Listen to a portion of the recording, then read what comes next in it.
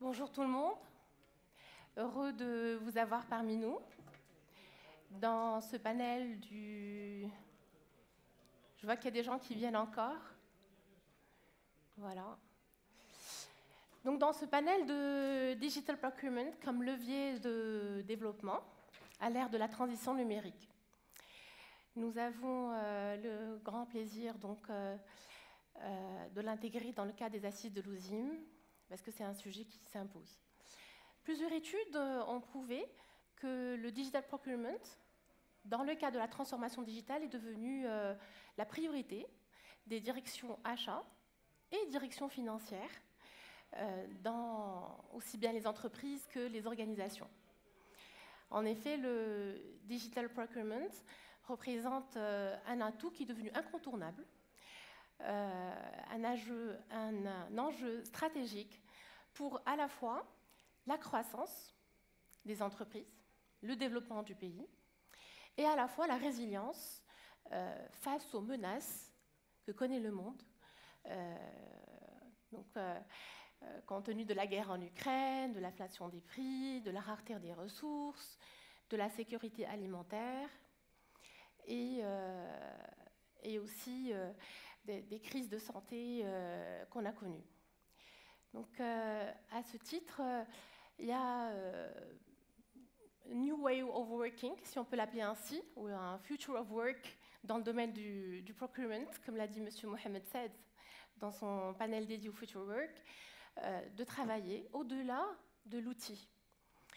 Et bien sûr, le secteur public en tant que premier donneur d'ordre, euh, est euh, très impacté, aussi bien au Maroc que dans le monde, euh, dans ce domaine.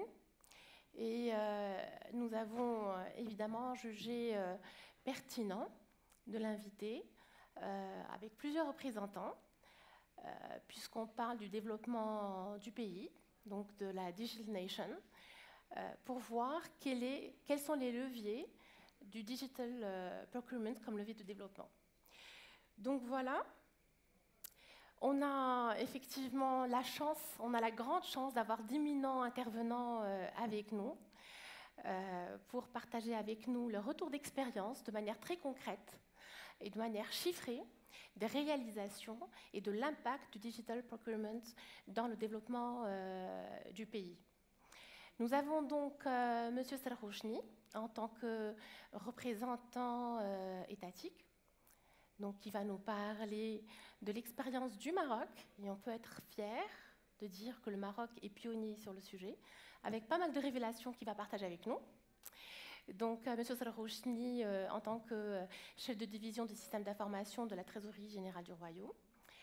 Euh, nous avons avec nous également un représentant d'un bailleur de fonds, pas moins que la Banque mondiale, donc en tant qu'expert de la passation des marchés, et de la commande euh, publique, euh, qui va également nous donner une idée euh, macro et globale de l'impact du digital achat dans le développement. Nous avons également la chance d'avoir un représentant de l'OCP, qui est un donneur d'ordre majeur, comme vous le savez, en tant qu'entreprise publique, pionnière également dans les pratiques achats, pour partager avec nous comme euh, une contagion positive qu'on l'invite à faire pour les entreprises. Euh, comment euh, le digital achat, encore une fois, s'inscrit dans le développement de l'entreprise et du pays et de l'écosystème. Et également, M. Adrdour, en tant que représentant de, des professionnels des achats, en particulier le secteur privé. Voilà. Donc, euh, sans plus tarder, euh, je vais donner la parole à, nos intervenants que je remercie très vivement pour leur euh, présence, pour la consistance de, leur présentation à l'avance.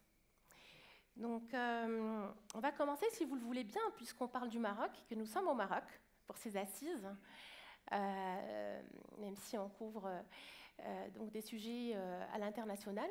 On va commencer avec M. Sarrouchni.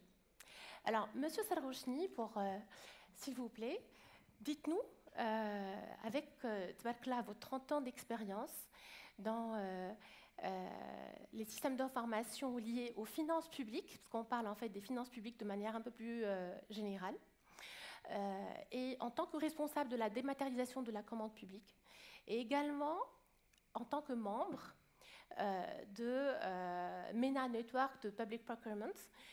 Dites-nous s'il vous plaît comment le digital procurement constitue un levier de développement dans le cadre de la Digital Nation. Monsieur Sarojni, à vous la parole. Merci, Mariam, pour, euh, euh, cet accueil, pour euh, nous avoir donc invité à cette manifestation très importante. Je remercie l'OSIM aussi donc, pour cette occasion. Est-ce qu'on vous entend ou est-ce qu'on rapproche le micro? Vous m'entendez Est-ce qu'on l'entend? Voilà, magnifique.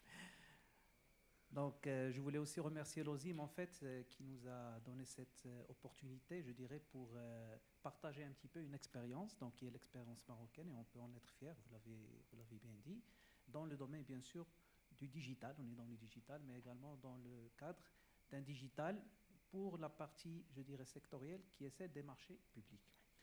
Alors, pourquoi est-ce qu'on en parle? Donc, on en parle parce que d'abord, la partie digitale des, je dirais, de la commande publique en général, comme on, l'appelle, ou bien le e-procurement, il intervient, je dirais, ces, ces, deux dernières années dans un contexte très difficile, un contexte mondial qui a été, je dirais, marqué par de grandes difficultés. il y avait la, la Covid-19, il y avait donc la crise en Ukraine, et tout ceci, il a exercé des pressions très importantes et je dirais qui ont impacté lourdement euh, pas uniquement les individus, mais les budgets des États. Donc là, on parle vraiment à, un niveau qui est, qui est, macro, qui est très important. Et je dirais cette, cette grande pression, elle a eu un impact direct tant sur le plan économique que social. Et donc, dans ce contexte, euh, je dirais, qui, est, qui a été marqué par euh, cette grande pression sur le volet budgétaire, on a commencé un petit peu à se dire, bon, mais en fin de compte, comment est-ce qu'on peut faire plus avec moins? Alors, faire plus avec moins parce qu'on a une rareté de ressources, mais on doit faire des achats quand même et des achats à l'échelle donc de, je dirais, des, États. donc ce n'est pas un cas uniquement pour le, Maroc qui est propre au Maroc, c'est international, mais ça s'est accentué dans des pays qui ont donc un certain nombre, je dirais, donc de, de besoins importants parce qu'ils sont en, en, développement, donc tel que c'est le cas du Maroc. Et donc cet impact, donc cet impact-là qui a, qui a été économique et social, comme j'ai dit, on a commencé un petit peu à se dire euh, comment est-ce que on peut euh, rationaliser donc les, les, achats publics et comment le digital est-ce qu'il peut être un facteur important. Donc justement à ce niveau-là et heureusement qu'au Maroc on s'était réveillé tôt parce que souvent on se dit donc euh, c'est à la dernière minute qu'on va y réfléchir non? Donc au Maroc euh, on s'était réveillé tôt et on avait mis en place, je dirais, toute une réforme globale de, tout ce qui est commande publique. Et cette réforme globale, donc c'est une réforme gouvernementale, mais qui a été pilotée par la Trésorerie générale du Royaume, qui est un département, donc une direction générale au ministère de l'économie et de finances au Maroc. Et c'est une démarche qui n'a pas été faite, je dirais, par l'État pour l'État. C'est là un petit peu la grande différence et l'innovation à ce niveau-là. Mais elle a été faite par l'État en concertation avec l'ensemble des parties prenantes. Et donc, on a tenu compte dans le cadre de cette, de cette grande réforme, on s'est concerté avec les, je dirais bien sûr, les acheteurs publics, donc tous les départements ministériels, mais pas que, les collectivités territoriales, c'est un grand acheteur public également, donc les établissements publics, donc qui, ont donc on a on a la chance aujourd'hui d'avoir avec nous donc euh, il, en parlera tout à l'heure, donc qui sont, je dirais, de, de, grands, bon, je dirais pas dépensiers dans le sens euh, euh, péjoratif du terme, mais dans le sens qu'ils investissent beaucoup, ils ont besoin en fait de ces marchés. Et donc ça a été un petit peu une réforme, je dirais, plurielle, donc et qui a intégré également les fédérations, donc les entreprises, parce que c'est ils sont en premier concernés, mais également la société civile. Et parfois, on peut, on peut se dire pourquoi la société civile. Et l'OSIM, je pense qu'elle représente un petit peu une, un certain, une certaine catégorie de cette société civile. Et tous ces gens-là ont été consultés afin de mettre en place, je dirais, une, une, démarche et une réforme globale qui a commencé il y a quelques années déjà de cela. Et tout cela, en fait, pourquoi on parle de, cela Pour répondre un petit peu à votre question en termes d'enjeux, parce que la commande publique au Maroc, c'est annuellement, l'État, il injecte 200 milliards de dirhams par rapport au niveau de l'investissement. Et un point, je dirais, un peu plus particulier en 2022, c'est que l'État il a fait un effort supplémentaire. Il a injecté 245, donc un ajout de 45 milliards de dirhams, qui est un chiffre vraiment très important. Et ces 245 milliards de dirhams, en fait, elles profitent à tous les secteurs. Elles profitent au secteur de l'ingénierie, qui bénéficie de 80% de cette commande publique, et, le secteur de l'ingénierie, enfin de la BTP, pardon, bâtiment travaux publics, qui bénéficie à hauteur de 70% donc de tous ces investissements. Et c'est quelque chose qui est très important pour le tissu économique au Maroc, sachant que c'est un tissu économique, comme vous le savez, qui est à plus de 97% euh, constitué de PME, lesquelles PME, ils ont besoin en fait de cette commande publique. Et peut-être juste pour euh, donner aussi la parole à mes collègues, euh, ce, cette expérience-là et toute cette réforme donc des marchés publics euh, qui n'a pas été axée uniquement sur le volet juridique comme ça se faisait auparavant, parce que la réforme n'est pas que juridique, elle est surtout technologique et c'est là où on s'est inscrit dans le cadre de cette Digital Nation avec la mise en place d'un programme ambitieux, j'en parlerai tout à l'heure, et, c'est ce qui a permis au Maroc vraiment de se hisser au rang donc, de pionnier dans la région MENA. Et ça, ce n'est pas nous, Marocains, qui le disons, bien sûr, on le dit avec fierté, mais nous avons avec nous, donc, bien sûr, donc, nos, partenaires, les bailleurs de fonds, avec qui nous avons travaillé, et qui ont été d'une très grande utilité dans la concrétisation de toute cette démarche-là, et qui attestent aujourd'hui, parce qu'ils ont une vue globale au niveau de toute la région, ils attestent de ce rôle important et pionnier du Maroc dans le cadre de cette entreprise. Exactement, merci Monsieur Sarkhouchni. Alors ce que j'entends, c'est que le Maroc est pionnier dans la réforme et dans la digitalisation de la commande publique, donc on peut en être fier dans la grande région euh, MENA. Donc euh, on parle de Digital Nation, en tout cas dans le domaine des achats et de la commande publique. Euh, on aura peut-être l'occasion de partager quelques chiffres. Donc vous avez commencé en parlant des 245 milliards.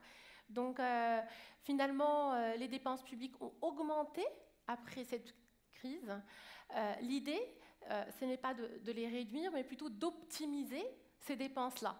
Donc, c'est ce que je, retiens, Monsieur Saranchny.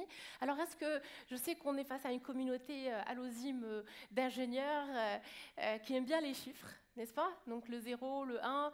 Donc si vous pouvez partager avec nous quelques chiffres en termes d'impact, est-ce qu'on a pu mesurer, et je sais que ce n'est pas chose aisée, même dans le privé, est-ce qu'on a pu mesurer par exemple l'impact en termes de saving de cette euh, euh, digitalisation? Est-ce qu'il y a des chiffres qu'on peut partager euh, avec notre cher public? Alors, au niveau des, chiffres, il y a des chiffres qui sont concrets, qui sont là. Donc, voilà. Euh, c'est-à-dire au début quand on a commencé au niveau de la réforme des marchés publics et de, la mise en place de ce programme de e-procurement, euh, la, première idée était juste de dire, elle a commencé d'une manière très simple, et toujours les, choses importantes commencent par des idées très simples, on s'est dit que au Maroc, donc les entreprises, elles ont besoin d'aller chercher des opportunités d'affaires. Malheureusement, pour aller les chercher, parfois une entreprise doit se déplacer dans le bureau d'un président d'une collectivité territoriale, une petite commune ou une grande commune, et pour retirer un cahier de charge, c'est-à-dire juste pour pouvoir lire ce que demande cette commune. Donc il devait, je dirais, euh, franchir, je dirais, donc quelques obstacles, quelques difficultés qui n'étaient pas faciles. Donc on s'est dit l'idée, la première, on va démocratiser l'information sur la commande publique c'est là qu'est né un petit peu ce grand projet, parce qu'en 2007, et là je parle de 2007, donc ça fait déjà 15 ans, on a mis en place un portail national, un portail marocain des marchés publics. C'est là où vous trouvez l'ensemble des opportunités. C'est ce que j'appelle moi le SPOC, un Signal Point of Contact, parce que nos amis informaticiens aiment bien ça. Donc ça a été un point de contact unique et vous n'avez plus besoin d'aller vous déplacer pour récupérer un cahier de charge. K-Char, c'est vraiment c'est le, point d'entrée et vous les récupérez gratuitement. Auparavant, on devait payer donc par page quelques dirhams et donc ça, ça chiffrait. Alors, ça, ça a été le portail. Aujourd'hui, on a plus de 4000 acheteurs publics qui sont sur ce portail, plus de 25 000 entreprises qui sont enregistrées sur ce portail. 25 000. plus de 25 000 plus qui que sont 25 000. enregistrés, c'est-à-dire donc qui bénéficient un petit peu de l'ensemble des, des services de, de ce portail des marchés publics. Et c'est surtout un point unique pour pouvoir aller chercher donc euh, toute l'information sur la commande publique, mis à part l'aspect bien sûr réglementaire, a- aspect guide, etc. Alors, à partir de cette idée-là, on s'est dit très bien, maintenant tout le monde a accès aux opportunités d'affaires, mais qu'est-ce qu'est-ce qui se passe si on veut répondre J'ai trouvé un appel d'offres qui m'intéresse, je veux répondre. Donc c'est là où la technologie aussi a, a été importante et on a mis en place ce qu'on a appelé les soumissions électroniques. Donc les soumissions électroniques, c'est que moi, je suis à Agadir, je veux répondre à un appel d'offres qui se trouve à Rabat. Auparavant, je devais me déplacer avec mon offre, prendre le taxi, prendre l'autocar, l'avion, bon, le, le train, tout, ce qu'on veut. Et il y avait beaucoup de risques. On n'arrivait pas parfois à l'heure de l'ouverture des plis et ça, ça causait beaucoup de Alors, dérangements. ces, dépôts d'offres dont, dont vous parlez, c'est actif à partir de quand, quand à- Alors, les- Au Maroc? C'est depuis 2015. D'accord. Voilà. Et euh, ce dépôt donc, électronique des, des offres, rien que sur les. Quand on a démarré, au début, on était à 2000, 2000 offres qui étaient électroniques. On était un petit peu frustrés, nous, les, donc, au niveau technique. Mhm. Mais sur les, sur les neuf premiers mois de cette année, par exemple, il y a plus de 80 000 soumissions électroniques qui ont été faites sur le portail. 80 000 soumissions Plus de 80 000. électroniques sous le portail. On vous a promis que ce soit des chiffres concrets Oui, oui. Non, et ça, que ce projet est, est réel. c'est réel. Exactement. Oui. Alors merci Monsieur Salrouchni pour ces, ces chiffres. On va rester dans le concret, dans le réel, euh, avec euh, Monsieur euh, Duibi, qu'on a la chance encore une fois d'avoir avec nous. Alors Monsieur euh, Duibi, riche de votre euh, 20 ans d'expérience, aussi bien au Maroc, dans plusieurs pays d'Afrique, en tant qu'expert, spécialiste de la passation des marchés, donc spécialiste de la commande euh, euh, publique, et, en même temps, donc, euh, avec une formation euh, à Harvard de, Data Analytics, donc ça c'est pour les ingénieurs IT euh, euh, parmi nous. Dites-nous votre retour d'expérience, dites-nous euh, de manière concrète euh, quels sont d'après vous, euh, comment le digital achat, donc la digitalisation du procurement, peut constituer donc un, levier de développement de la Digital Nation? Je sais que vous êtes basé au Maroc et en même temps, vous avez une vision, puisque pour vous représentez la Banque mondiale, euh, vous avez une vision globale. Donc, euh, dites-nous, donc à l'échelle internationale et à l'échelle nationale, euh, quels sont les leviers qu'on a, qu'on a pu identifier. Voilà. Merci Myriam. Bonjour tout le monde. Donc, je suis très ravi d'être aujourd'hui parmi vous avec mon collègue Si Mohamed Benani, donc pour représenter la Banque mondiale, aussi bien donc le département des marchés publics de la Banque mondiale que donc le bureau euh, Maghreb basé ici à Rabat. Donc, nous sommes très ravis d'être ici parmi vous aujourd'hui, surtout face aux professionnels et aux experts des, donc des systèmes d'information pour parler justement d'un sujet qui est très euh, donc, euh, stratégique qui est le, le- la passation des marchés dématérialisés, disons, au digital procurement. Euh, je suis aussi très euh, content et très ravi d'être à côté de Si Amin et des, donc, euh, des, des éminents donc, intervenants ou speakers dans ce panel qui témoignent donc, de l'importance du sujet. Alors, donc Si Amin a dit qu'au Maroc, on s'est réveillé très tôt. Et comme l'avenir n'appartient qu'à ceux qui s'est réveillés tôt, donc la banque aussi, on s'est réveillé très tôt pour travailler avec donc, le gouvernement du Maroc, le Royaume, notamment donc, en partenariat avec la TGR, main dans la main depuis, comme l'avait dit Siamine, depuis 2007. Pourquoi? Parce qu'on sait pertinemment que la manne des marchés publics, elle est vraiment très importante et, elle constitue surtout, je vais peut-être euh, euh, en parler plus tard, un marché public, c'est l'acte de naissance d'une petite et moyenne entreprise. Je vais vous expliquer pourquoi. Donc, juste pour commencer, comme la Banque mondiale, donc, euh, on a une vision globale de la chose. Donc, juste pour vous donner une idée. Donc, euh, euh, les gouvernements donc, euh, au monde entier dépensent à peu près annuellement quelque chose comme 13 000 milliards de dollars sur la commande publique, sur les marchés publics.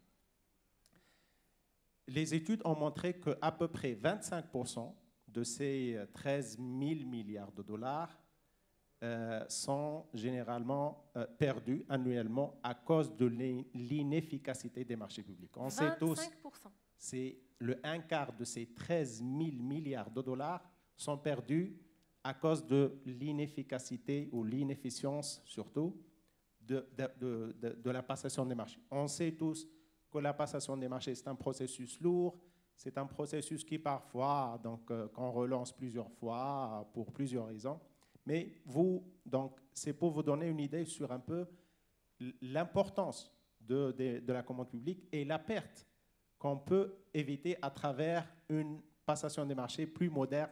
Et ici vient le digital.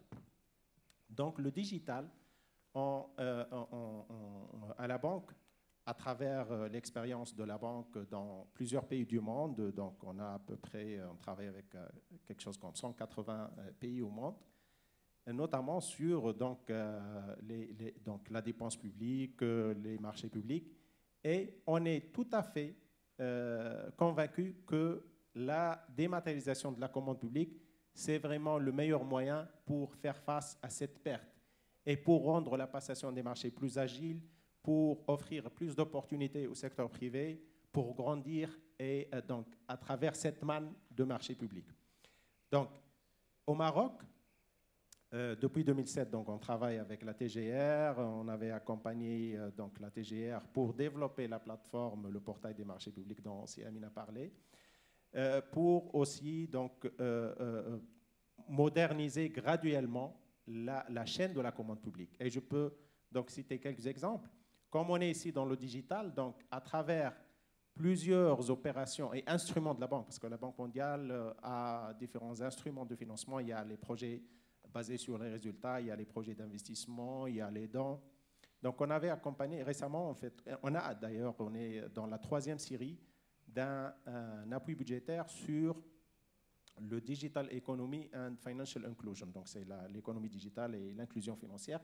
Et c'est surtout à travers ce, programme qu'on avait donc euh, travaillé avec la TGR sur la euh, donc, euh, la généralisation de la soumission électronique qui commence d'ailleurs euh, dans deux jours, donc le 1er novembre, pour les grands contrats. En pleine actualité. Voilà. Donc, pour justement vraiment rendre la passation des marchés digitalisée idéalement de bout en bout, mais tout en donc, procédant d'une manière donc, graduelle en, en, tenant compte donc, du contexte dans lequel évolue la commande publique. Donc, euh, à travers ce programme, on avait euh, en 2019, donc on avait accompagné la généralisation ou l'obligation de, la publication des résultats des marchés qui sont attribués à la, donc à la petite et moyenne entreprise, parce que bon, on sait que la petite et moyenne entreprise, comme je l'avais dit, l'accès à un marché public, c'est son acte de naissance. Pourquoi? Une étude en 2016, je crois, a été faite au, Brésil qui a montré que une petite et moyenne entreprise ou une micro-entreprise qui gagne un marché public, euh, donc avec l'État, ça lui donc, euh, permet de faire une croissance d'à peu près 2,2 ou 2,5% le premier trimestre après donc l'obtention de, ce contrat, de ce marché public. Aussi, c'est euh, donc euh, un marché public permet à une PME de créer de l'emploi et l'étude a montré que 93% des nouveaux recrues sont généralement donc recrutés dans le cadre de, donc de ces marchés. Et c'est des gens qui viennent soit du... Euh, donc c'est des chômeurs ou des jeunes diplômés. Et donc vous voyez, c'est vraiment même, ça crée de l'emploi. C'est un levier donc, euh, euh, social, la passation des marchés, donc à travers la création de l'emploi. Ça donne donc une bouffée d'oxygène aux, petites et moyennes entreprises pour vraiment donc, grandir et euh, donc développer leur business. Euh, donc ça, c'était un premier chiffre sur l'impact. Un deuxième chiffre, euh, je crois si, Amine l'avait déjà donc, communiqué ou partagé, c'est que généralement, on estime ici, surtout au Maroc, en fait, le, le gain à travers la digitalisation, c'est à peu près 200 dollars par, par appel d'offres.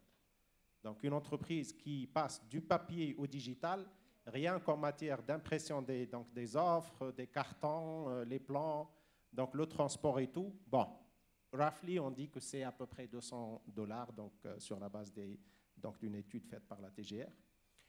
Et donc, vous voyez, si Amine a mentionné que l'année passée, il y avait 80, comme chose comme 84 000 donc, soumissions électroniques. Et donc, avec un simple calcul, si on multiplie par les 200, c'est à peu près 17 millions de dollars qui sont gagnés par le secteur privé à travers la digitalisation. Donc, euh, euh, euh, aussi, si on raisonne maintenant, Mariam, tu as commencé par, par évoquer donc, le rôle aussi donc, disons, de, le, le, rôle que la passion des marchés peut jouer dans, dans la construction du système résilient et, donc, qui s'adapte un peu au changement climatique. Vous donc, vous, j'imagine, vous pouvez imaginer un peu le, le, gain en termes de, de, de, papier. donc, si on, utilise peut-être, j'imagine, hein, j'ai jamais fait ça, mais j'imagine on utilise 2, 3, 4 kilos de papier par, par offre pour soumissionner une offre. Donc c'est à vous d'imaginer un peu le, peut-être les centaines de tonnes de papier que le secteur privé peut économiser à travers la, donc la soumission électronique. Un troisième point, c'est la réduction des, gaz à effet de serre, et notamment le, CO2. au Maroc, on estime que ça va euh, permettre d'économiser peut-être ou d'éviter l'émission de centaines de milliers de tonnes de CO2. Tout ça, c'est grâce à la dématérialisation. Et sincèrement, moi, si j'étais le secteur privé, je serais le premier à vraiment faire le lobbying pour que la passation des marchés électroniques soit généralisée. Et c'est ce que actuellement donc, euh, la TGR fait et le gouvernement du Maroc à travers la TGR. Et je pense qu'au bout de 2-3 ans, on sera euh, à 100% digital. Merci, Monsieur Duibi, pour euh, cette formidable euh, intervention. Vous êtes visiblement l'ambassadeur du digital procurement, que ce soit euh, pour le, secteur public ou, et le secteur privé. Donc, merci pour ces chiffres concrets. Je sais que, encore une fois, les ingénieurs sont avides de chiffres. Donc, on parle de 25% d'économie des dépenses euh, euh, publiques grâce euh, au digital. On parle également des 17 ou 19 millions d'économies pour une meilleure efficacité opérationnelle de la passation de commandes. Donc ce sont des chiffres parlant pour nous les citoyens euh, et en même temps euh, faisant partie du, monde corpo, avec des impacts green sur l'environnement et des impacts sur les PME, euh, de la création de l'emploi direct, 80% des emplois suite à une digitalisation. Donc ce sont des, chiffres, j'ai envie de dire, criants, parlants et, très intéressants. Donc, vous voulez Un rajouter dernier point que j'ai oublié peut-être de mentionner, qui est aussi très important. Oui. C'est la transparence. En fait, à travers la digitalisation, les données euh, deviennent donc à la portée de tout le monde. Et je pense que euh, je peux certifier ou confirmer que la TGR, vraiment, c'est euh, l'une des priorités de la TGR. Donc, pour vraiment faire de la data procurement, donc à la ou mettre la data procurement à la disposition du secteur privé, de la société civile, des citoyens, à travers le portail donc des marchés publics que Siamine avait énoncé.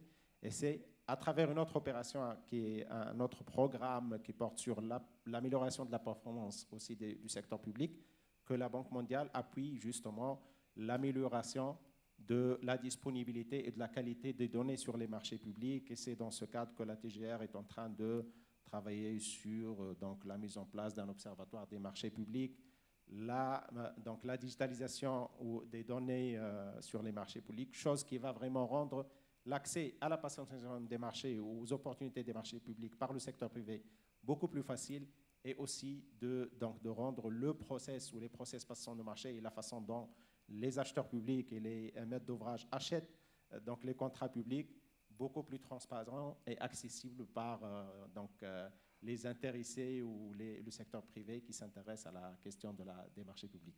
Absolument, merci pour ce complément, Monsieur Douibi. Donc, quand vous voyez la digitalisation euh, de euh, la commande publique et d'actualité, ô combien d'actualité, avec pas mal de révélations, avec la création de, de cet euh, observatoire et que le digital est au cœur de cette réforme et transformation de la commande publique, si on peut l'appeler ainsi, et avec aussi l'observatoire de, gestion de la data, n'est-ce pas, c'est Donc, cela pour nous donner une idée sur, on va dire, le secteur public de manière générale. Alors, on voulait avoir un témoignage d'un donneur d'ordre, et pas des moindres, donc euh, de l'OCP, Donc, grâce à, l'intervention de M. Euh, Zneber, donc on a la chance d'avoir avec nous M. Znever, qui est riche de sa vingtaine d'années d'expérience aussi bien au Maroc qu'à l'international pour proposer des solutions à forte valeur ajoutée, et qui aujourd'hui euh, intervient avec nous euh, en tant que responsable euh, donc de la feuille de route pour la mise à disposition de solutions innovantes. On est en plein dans l'innovation depuis qu'on a commencé pour les métiers dans le cadre de la Digital Factory de, de l'OCP. Donc, euh, Monsieur Zneber, riche de cette expérience, de votre euh, MBA, si on pouvait avoir encore une fois euh, un retour d'expérience, alors avec un autre prisme, cette fois de l'entreprise. Donc, comment le digital achat représente un levier de développement de l'entreprise et de son écosystème, on va dire, de manière générale. S'il vous plaît. Est-ce que ça marche? Sinon, je vous donne un autre. Oui, vous m'entendez? Parfait. Oui, très bien. Donc, euh, tout d'abord, je tenais à vous remercier de l'occasion qui nous est donnée de discuter d'un sujet euh, si stratégique et si important pour, euh, pour, pour tout le monde, pour le Maroc également.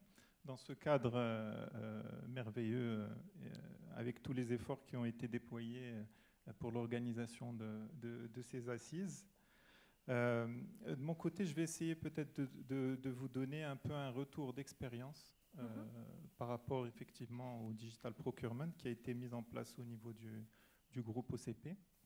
Euh, effectivement, le travail a été initié depuis, depuis plusieurs années au sein de, l'OCP, mais on va essayer un peu d'aller droit au but et de décomposer un peu cette intervention du digital au niveau de trois phases. Euh, on peut d'abord commencer effectivement par la phase avant l'attribution de la commande. Euh, durant cette phase, euh, si, si Amine en a parlé, l'objectif c'est d'assurer de la transparence à, travers la mise en place d'un portail fournisseur. Donc la transparence comment?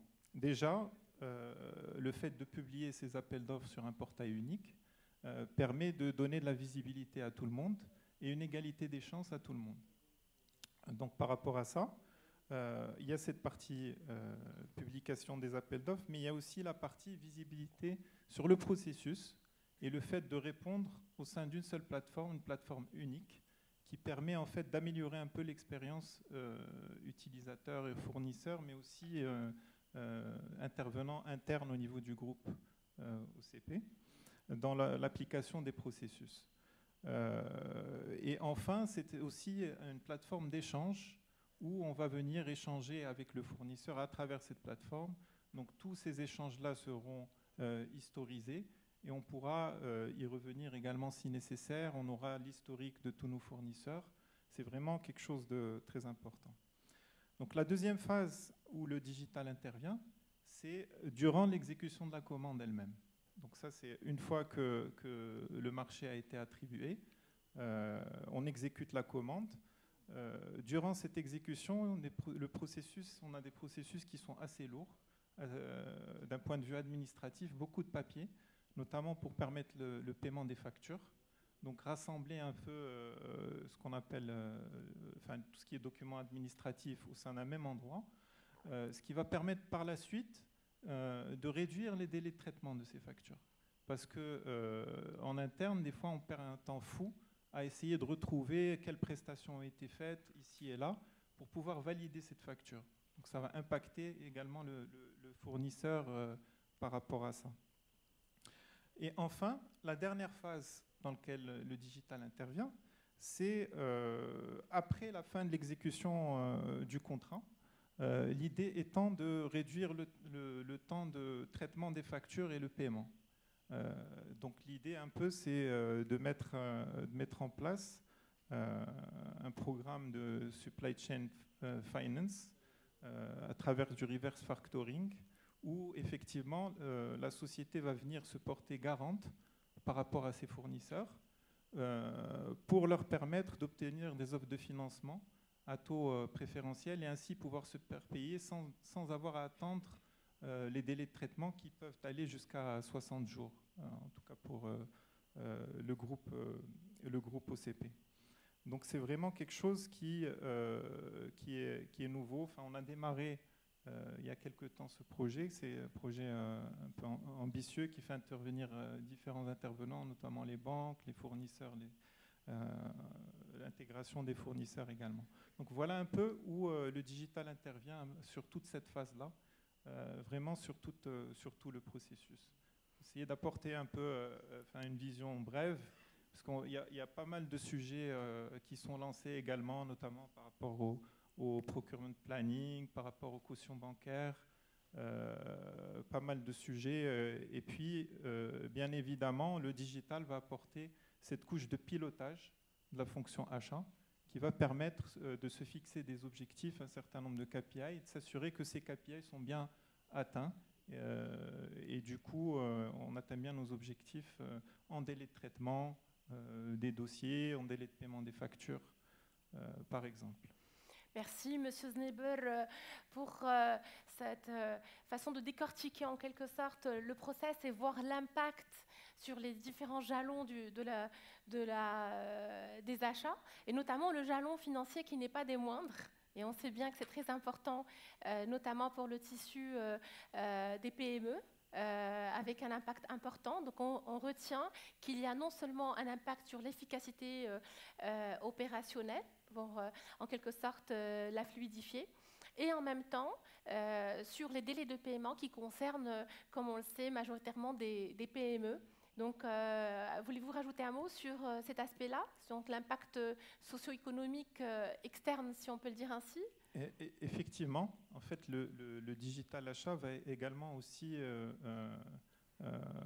améliorer un peu, enfin, porter le, tissu socio-économique. Et cela, en fait, il doit pouvoir permettre de développer l'écosystème local des, des entreprises. En fait, l'idée, c'est euh, de ne pas mettre en concurrence des PME, des TPE avec des grosses structures, euh, en leur créant des canaux dédiés où euh, effectivement ils pourront, ils pourront répondre. et tout ça à travers un, accompagnement qui est fait depuis le début, c'est-à-dire que ce fournisseur-là est identifié comme étant une TPE, il va, avoir, il va suivre un process qui est à part et il va être accompagné. Donc il va y avoir une évaluation euh, financière de ce dernier, une évaluation opérationnelle.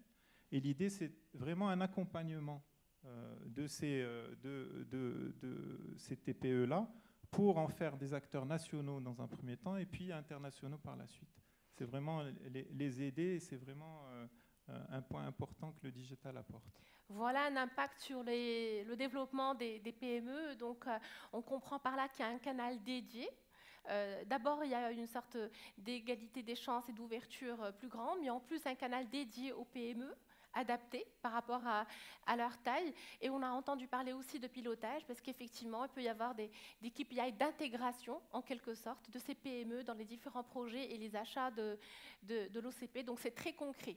Donc au-delà de, l'aspect euh, qualitatif d'accompagnement, donc, euh, il ne suffit pas de fixer des objectifs, mais en plus, il y a une mesure de l'évolution de l'intégration des PME, avec bien sûr, euh, à l'issue de la création de l'emploi direct. Merci beaucoup, Monsieur Znebel, pour cet éclairage ô combien important. Alors, Monsieur Aderdour, donc en tant que représentant, on va dire, des professionnels achats, vous-même, vous avez d'ailleurs mené un, projet de, digitalisation achat en interne. Euh, on a envie de savoir avec vous euh, quel a été l'impact ou quel est l'impact du digital achat d'accord, dans les entreprises. Donc euh, de, manière vraiment très claire, on va dire, et, concise. Bonjour, je vous remercie déjà pour l'invitation et pour le choix de cette thématique très importante. Donc, étant j'avais la, chance de participer à la transformation digitale de la fonction achat au sein de Takamoroko. Exact. Takamoroko, c'est le plus, le, plus grand producteur de l'énergie au Maroc et c'est une société privée. Et aussi, j'avais la chance d'échanger au sein de l'association des acheteurs du Maroc, AMCA, avec euh, un nombre euh, significatif d'acheteurs euh, pour voir un peu comment ça se passe au sein de tous les secteurs, aux différentes sociétés, différentes tailles, différentes activités. Mhm. D'accord. Donc, euh, pour répondre à la question de l'impact de la digitalisation sur la performance des entreprises, mhm. je tiens tout d'abord à, confirmer les idées annoncées par mes collègues euh, Siwalid et Siamine ici Hilal.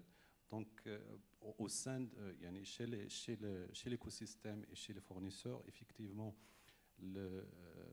l'annulation ou bien la remise à zéro du coût de l'offre, c'est un impact très positif. Aussi, l'annulation du coût du papier et coût de, même de, la communication, euh, puisque le canal de communication après digitalisation, ça, se concentre sur le portail et on n'a plus besoin de communication ni téléphonique, ni par fax, ni, tout. Donc c'est un coût aussi non, marginal qui est mis, à zéro. Euh, donc les, déplacements aussi, ils sont annulés chez les fournisseurs. Donc en interne, euh, la digitalisation a un impact euh, très significatif. Elle, elle, donne un potentiel de réalisation des gains importants via deux axes principaux. Le premier, c'est que c'est l'ouverture au marché fournisseur. Donc, mhm. elle permet à la société d'être devant euh, un nombre plus important que le système classique.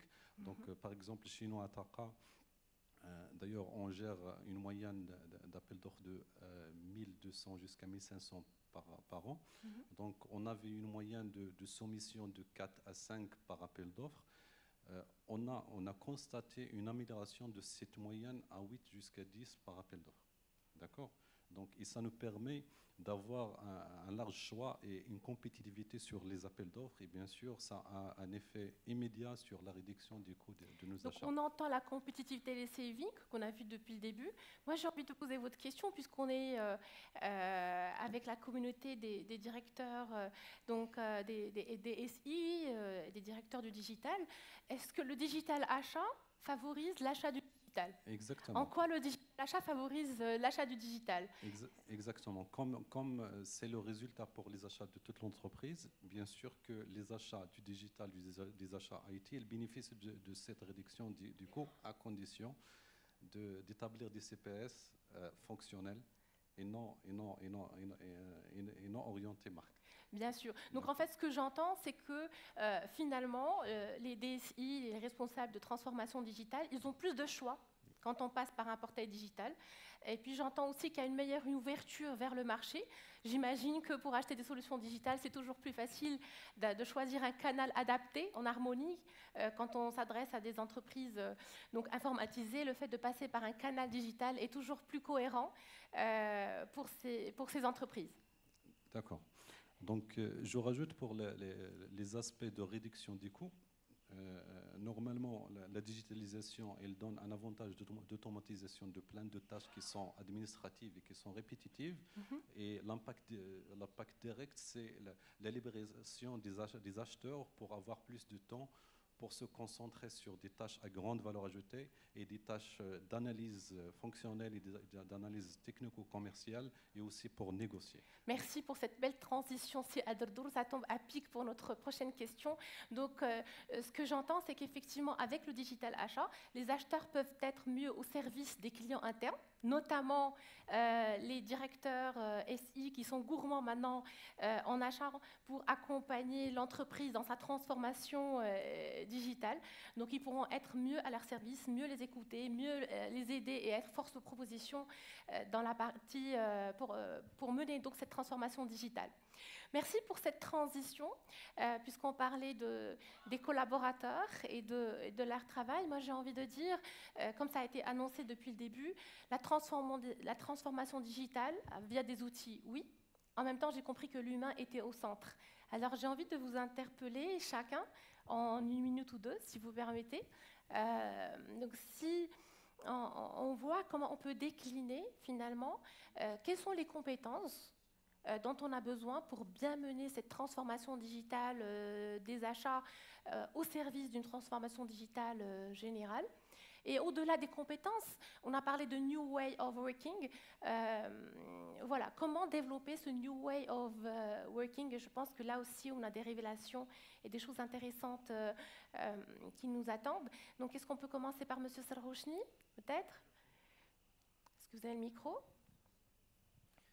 Oui, merci pour cette question très importante. En fait, euh, dans la communauté, je dirais, donc des, gens qui traitent du digital, effectivement, parfois, donc j'entends bien donc, ce qu'a dit mon, ami Hafid donc, sur cette, cette, importance. Il faut, faut, faut, se concentrer là où il faut se concentrer. Donc ça c'est important. Et justement, c'est-à-dire le digital pour le digital, je pense qu'il ne réussit pas. Ça, mhm. c'est notre propre expérience. Euh, en général, dans n'importe quel secteur, et dans l'État en particulier, ou dans les grandes entreprises, ou dans les, grands établissements publics, alors on fait, on fait du digital, c'est-à-dire pour une cause, pour améliorer des process métiers, pour améliorer aussi une qualité je dirais, soit aux citoyens, soit à l'entreprise, parce qu'on est dans le cadre là, du digital procurement. Euh, d'ailleurs, c'est-à-dire juste pour, euh, dans, la continuité de tout ce qu'on a fait, on, utilise le digital euh, dans ce qui a été annoncé par mon ami au niveau de l'Observatoire marocain de la commande publique, donc, qui est imminent, donc, qui va sortir bientôt. On peut dire que c'est une sorte de big data de la commande publique. Parce que vous imaginez un petit peu les 35 000 appels d'offres qui sont publiés chaque année. moi, je suis un acheteur public qui souhaite faire une prestation. Donc, je n'ai qu'à aller sur ce, cette, grande base de données et je peux trouver tous les cahiers de charges fonctionnels, les cahiers de charges techniques si c'est une prestation tellement technique et je, je, ne vais pas réinventer la roue. Et donc là, voici un gain très important en termes, je dirais, d'une sorte de KM, d'un knowledge management qui est très important. Mm-hmm. Deuxième chose importante, on parlait de l'IA, de l'intelligence artificielle hier, donc on en parlera encore. Et nous, donc, on a pris l'intelligence artificielle et on a intégré dans le cadre des marchés publics. Dans quel sens? Dans le sens de l'amélioration de la qualité aux entreprises on a mis en place un chatbot, donc un assistant virtuel. Donc il est opérationnel, il est déployé, il marche. Et je peux vous dire que donc on l'a déployé très récemment. On a plus de 400 euh, euh, pas questions, mais c'est-à-dire 400 interrogations qui sont faites par des utilisateurs euh, chaque semaine. Là, on est vraiment, ça dépasse même ce que fait, je dirais, la, la hotline spécialisée dans ce sens-là. Et il ne se fatigue jamais. il travaille tous les jours les week-ends, les jours fériés. Donc voilà, juste pour dire qu'on ne fait pas le digital pour le digital, mais il faut exploiter le digital pour améliorer la qualité de service. Mais pour revenir un petit peu à votre question, en fait, c'est-à-dire dans notre démarche et dans toute démarche, je dirais, pour pouvoir réussir cette appropriation, il y a un petit peu tout cet aspect de conduite de changement qui est important, qui intègre euh, un aspect primordial qui est la formation. Et c'est là où je viens un petit peu au capital humain, parce que le capital humain, je pense qu'il est au centre. On a vu hier avec les, les, les, présentations donc, qui étaient très importantes, que ce soit celle du Gartner ou celle donc, de M. Gerd à la fin, mhm. on voit bien la place de l'humain. Et si on ne se préoccupe pas de cet humain, on risque un petit peu de tout rater. On peut avoir des systèmes très performants, très bons, donc, qui sont là, mais alors justement à cet effet-là, donc la, la Trésorerie générale elle a lancé une étude, donc euh, avec un cabinet spécialisé. L'objectif, c'est quoi? C'est de pouvoir professionnaliser le métier de l'acheteur public. Parce que je ne vous cache pas que dans les départements ministériels en général, euh, la fonction achat n'était pas toujours, je dirais, la plus attrayante. Elle n'était pas celle où les, les meilleurs euh, essayaient un petit peu donc, de se précipiter pour y aller. Et justement, donc, à travers cette étude-là, on est en train euh, donc d'identifier les instituts de formation qui pourront fournir euh, une formation diplômante. Je dis bien diplômante. Pourquoi? Pour que ça donne un nouveau cadre et un nouveau statut à cet acheteur public et que ça devienne très attrayant. Et parmi les, les, les, enjeux importants, donc on en a parlé hier, d'ailleurs, euh, je pense même sur il en avait parlé, c'est-à-dire qu'il ne faut pas avoir un digital à Rabat, un digital à Gaza, donc il faut que ça soit au niveau du Maroc. Et donc cette formation, parmi les critères importants du cahier de charge donc, euh, qui va être euh, lancé aux instituts, c'est qu'on ait des instituts de formation délocalisés, c'est-à-dire au niveau de tout le royaume. Pourquoi? Parce que l'acheteur public à Oujda devra bénéficier de cette formation diplômante et euh, au même titre que celui qui est à Agadir, que celui qui est à Casa. Merci, Monsieur voilà. pour cette euh, révélation. Encore une fois, Monsieur Salrouchni est venu riche de révélations. On retient que finalement, pour réussir cette digitalisation achat, ça passe par l'humain. Et on a besoin de rappeler la finalité. Et que c'est un sujet qui est très sérieux via une formation qui euh, donne lieu carrément à une transformation du statut de l'acheteur et une professionnalisation de la fonction achat dans le public. Merci, Monsieur Salrouchni.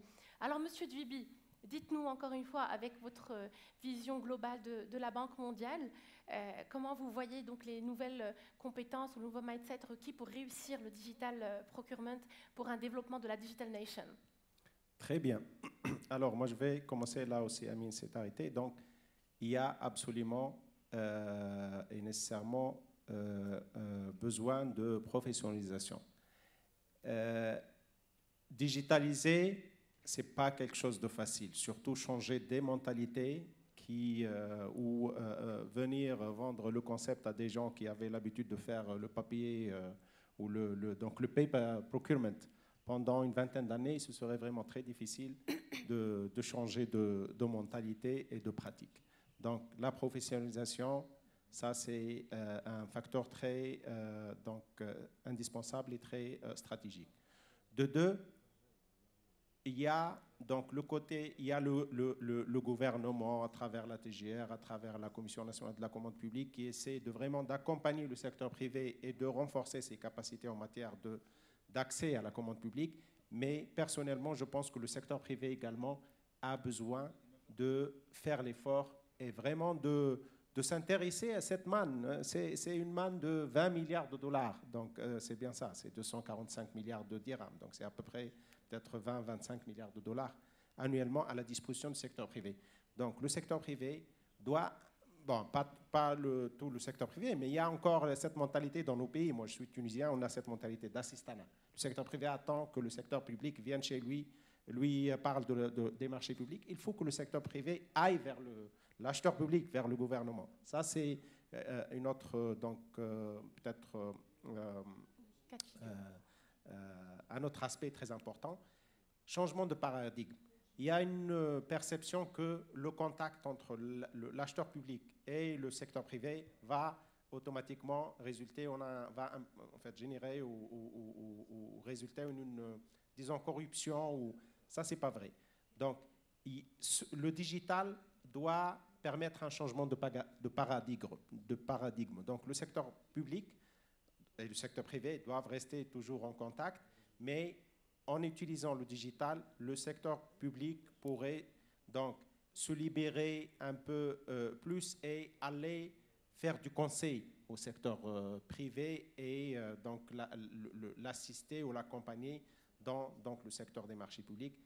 Un dernier point, digitaliser, c'est vraiment, ça, va certainement euh, euh, rendre l'achat public pas une fonction, donc pour sortir un peu de cette euh, perception que la, fonction achat, c'est une fonction administrative lourde à l'administration, c'est un moteur de développement. L'investissement au gouvernement du Maroc se passe principalement, l'investissement public à travers les marchés publics, et donc moderniser, moderniser davantage et moderniser ça va vraiment permettre de, donc de, de, de, réaliser les objectifs en termes de développement à très court, moyen et long terme.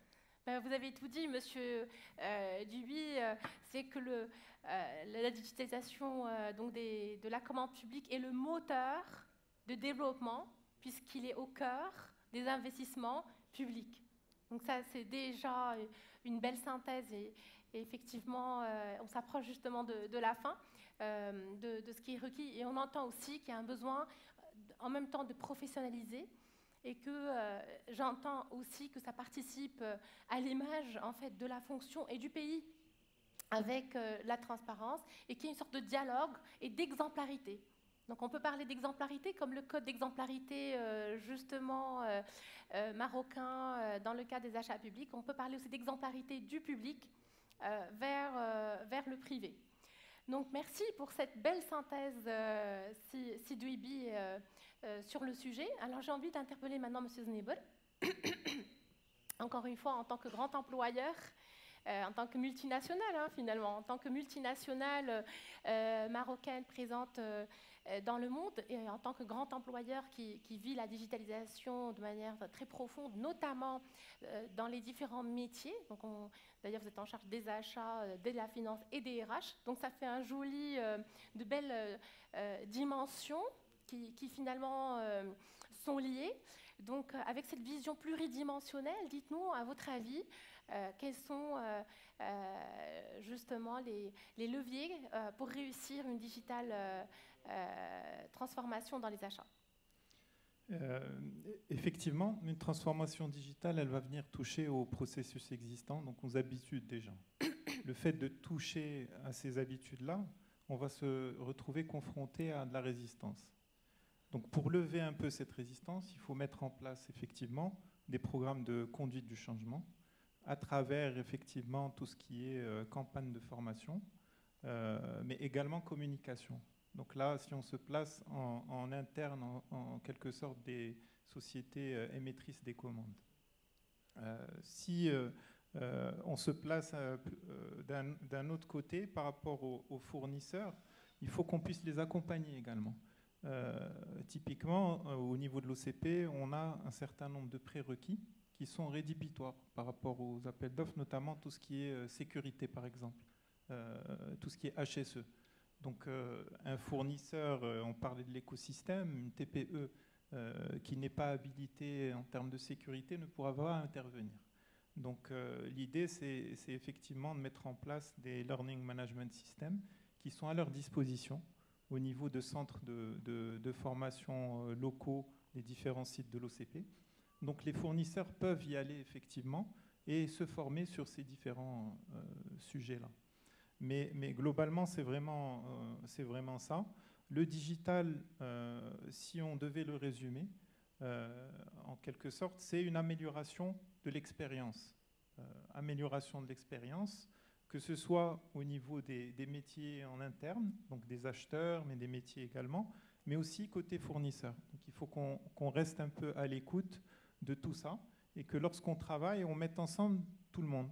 Donc euh, effectivement, l'OCP, quand euh, elle a lancé certains chantiers digitaux, elle a fait intervenir également euh, certains fournisseurs pour prendre en compte un peu leur retour et ne pas les négliger. Merci, Monsieur Znibur. Donc, j'entends que c'est une démarche qui est quelque part inclusive avec l'ensemble des parties prenantes, aussi bien en interne qu'en externe. Et j'entends aussi qu'il y a un développement des compétences internes, parce qu'il y, a une nouvelle façon de travailler et externe auprès des fournisseurs. Euh, chose d'ailleurs qui peut freiner, euh, qu'on peut penser être un frein pour euh, nous les Marocains. Est-ce que le tissu des PME va nous suivre dans ce digital procurement? On voit que oui, c'est possible, bien sûr en l'accompagnant. Donc, merci pour cette clé et ces facteurs importants de, de, succès du digital procurement pour une montée des compétences intra-entreprise et de l'ensemble des parties prenantes en externe. Alors, euh, Monsieur Aderdour, on s'approche à la fin. Euh, c'est vrai que c'est un sujet qui est passionnant et euh, aujourd'hui c'est juste un panel pour en parler, en sorte de teasing, mais on espère qu'on aura l'occasion d'en parler pendant une journée. Comme vous voyez, c'est un sujet qui est très très riche et très passionnant, qui nous impacte tous, acheteurs, DSI et citoyens marocains, donc de manière globale. Donc si vous pouvez dire en un mot, juste en un mot, quels sont à votre avis le digital procurement Comment il peut être un levier donc, pour le, euh, le développement En un mot? Donc, euh, Pour résumer en un mot, euh, je pense que le, le digital, c'est le chemin vers la maturité des achats au Maroc. Ça, d'un premier point. Le deuxième, c'est que ça ne, ce n'est plus un luxe pour la fonction achat. C'est un must. C'est ça. Alors j'ai compris qu'il pouvait y avoir des freins selon une étude que vous avez faite. comment on peut rater euh, parce que j'ai compris qu'il y a 7%, euh, si mes souvenirs euh, sont bons. On peut rater en fait des, des, projets de digital achat, d'après votre retour d'expérience. Il y en a, il en existe. pourquoi c'est raté et comment développer? Donc, pour réussir un projet de digitalisation, il faut une bonne préparation déjà, mais aussi il ne faut pas le, le, considérer comme un projet d'une fonction achat ou bien d'une direction achat. C'est un projet d'entreprise. Donc toutes les fonctions euh, doivent absolument y participer. Bien sûr, l'IT, leur appui est, important, primordial, mais aussi les, fonctions métiers. Euh, Parce que c'est avec eux et pour eux, en quelque sorte. Exactement. La, donnée, c'est, euh, ou bien les données, ce sont un élément essentiel et ce n'est pas les achats à, eux seuls de le préparer. Alors, si on parlait de coûts pour boucler la boucle, Exactement. voilà, est-ce que... Par rapport au coût des solutions, donc, nous avons fait des discussions au sein de l'AMCA pour discuter, discuter des obstacles des PME, de, très petites entreprises, pour accéder à la, digitalisation d'achat. Et principalement, la, la, première barrière, c'est le coût des solutions. Donc, pour cela, nous avons pensé à mettre en place une solution gracieuse par l'AMCA pour les PME et, les accompagner pour son intégration petit à petit et pour digitaliser un peu le nombre important des PME qui existent. Merci, Monsieur Adardo. on comprend que le coût peut être effectivement rédhibitoire pour les grandes entreprises, et ça, on le voit sur le terrain.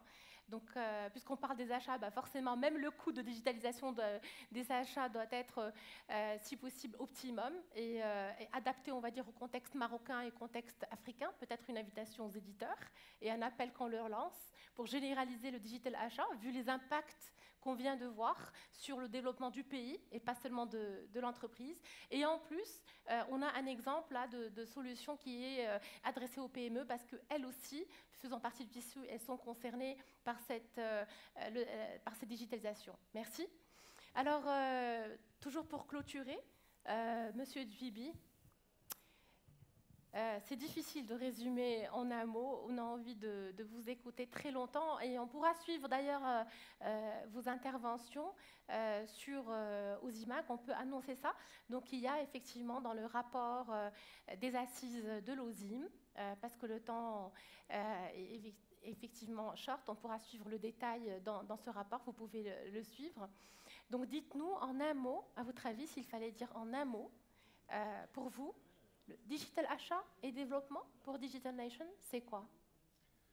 Bon, c'est difficile, mais euh, je vais peut-être euh, me permettre d'utiliser un acronyme euh, qui vient d'être utilisé par Harvard Business School.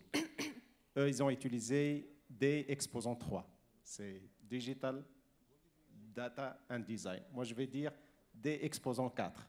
Donc, Digital, donc, si on va digital, on va gagner en termes d'agilité de, de célérité.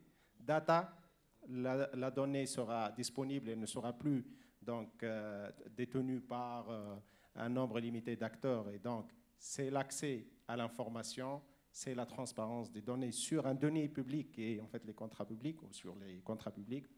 Donc, développement, le, le, le, donc la passion des marchés digitalisée permet au secteur privé et surtout la petite et moyenne entreprise. Et n'oubliez pas qu'il y a 30% qui sont réservés donc, par l'État aux petites et moyennes entreprises. Donc c'est le meilleur peut-être moyen et le, euh, le, plus efficace et le plus court pour accéder à cette manne de, donc de, de, de, marché public et durabilité. Le digital permet, euh, plutôt contribue énormément à la durabilité quand on dit durable, c'est social, c'est économique, c'est environnemental. Donc c'est tridimensionnel. Et je pense que, donc, si on peut dire des exposants 3, exposants 4 plutôt, c'est le mot que j'utiliserai Des exposants 4 en rajoutant euh, la durabilité. Merci Monsieur Duby pour ce beau résumé chiffré, tout en un. Merci Monsieur Duby, ça s'applaudit. Et euh, alors le dernier mot pour Monsieur euh, pour effectivement euh, libérer la salle. Si je vous dis le digital achat et le développement en un mot, ça serait quoi euh, Moi, je mettrais l'humain.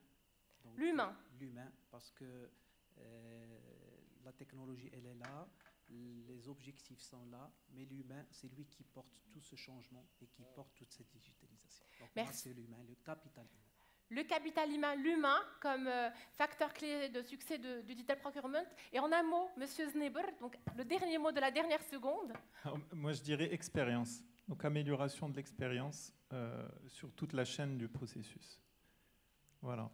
Merci beaucoup, euh, Monsieur Zneber. Vous avez un mot, Monsieur Adeltour, qui est déjà prêt? Ok, très bien. Donc on retient digital, le D, pardon, exposant 4. On retient l'humain et euh, l'expérience. Merci à vous. Suivez-nous sur Ozimac et peut-être une journée pour le digital procurement, pour le développement de la Digital Nation. Merci à vous. Merci beaucoup. Donc une photo pour euh, sacraliser ce moment. Merci beaucoup pour vos interventions. Une photo